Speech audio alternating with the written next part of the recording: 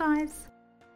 Today we're going to be wire wrapping one of these beautiful rose quartz crystal hearts. Perfect for a necklace, pendant, or even a keyring or something like that. The one on the left is made with 14k gold filled wire and the right hand one is a sterling silver wire so they're both 20 gauge and then I've got these two rose quartz crystals here so I'll just show you the size.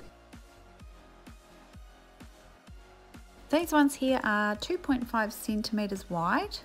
They're about 2.5 centimeters high as well. And then side on, they're about one centimeter in depth. So that's approximately what size I'm using, but you can adjust your wire length and wrap hearts of different sizes.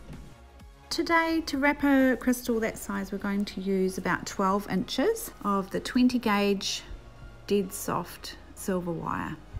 So start off with just cutting 12 inches of wire. First we need to make our bail. So just wrapping it around our round nose pliers, about halfway along, just start by wrapping it around, leaving the first part of the wire straight and then wrapping it around two times. So that piece there, we're now going to wrap that around the other piece of wire. So that just secures it in place there. So if you can pull that around and then just crimp it down nice and tight, that just secures your bail. Then we can just check our bail with our pliers, just check that the loops are nice and straight and together and that you're happy with them. I like to pop a glove on my left hand, just gives me a little bit more grip, but that's entirely up to you. To start with with our bail, we want to just bend it so that it sits in over the center of the crystal when you turn it on its side. Holding it very firmly in our left hand, we're just going to start by wrapping the wire around and do the top layer. So we start by wrapping it around the right hand side and then back up to the center and then wrap it around the left hand side and then back up to the center and then we're going to start by coming down and doing our middle sort of layers. So the first one here we come down a bit closer towards the bottom of the heart and then push it around the back. But this time we're not going up to the top. This time we're going across the crystal at the back. So you can see I've just bent that across. And then when it comes around the front we're going to take it up to the top again then in the middle.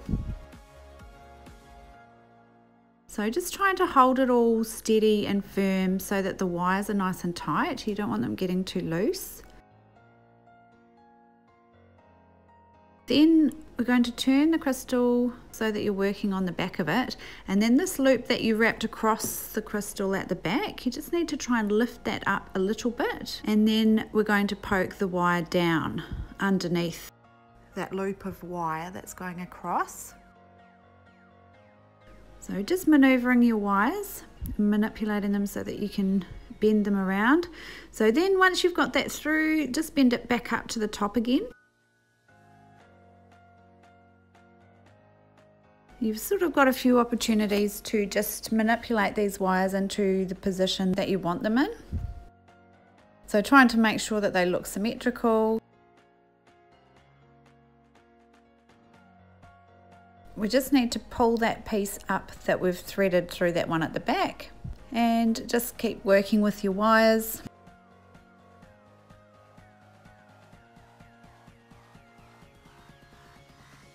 They're quite moldable at this point, so you can sort of work them a little bit and just make sure that you're happy with where they are. And once you've pulled it all tight and you've got this piece at the back as well, and you're happy with how that's sitting, then you want to just start wrapping it around your bail at the bottom.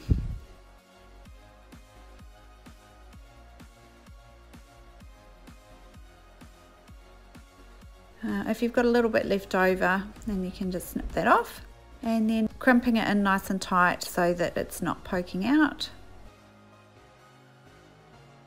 Okay, so now you have a bit more of a chance to maneuver your wires and just move them into a more even looking wrap.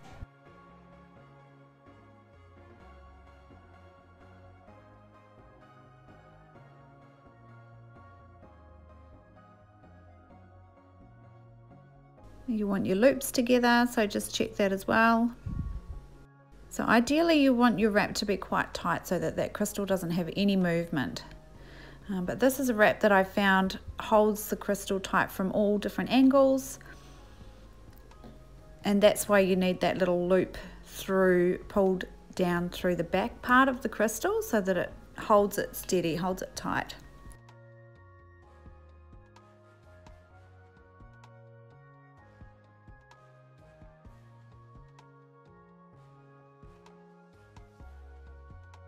And that's what the back looks like with that loop. And then the front should just have two loops on each side